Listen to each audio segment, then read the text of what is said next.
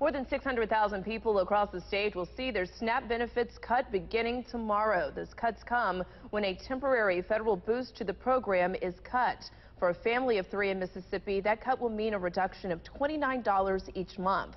Local food banks say this is going to put an even bigger strain on them. In addition to helping feed families, SNAP is one of the fastest ways to stimulate a struggling economy.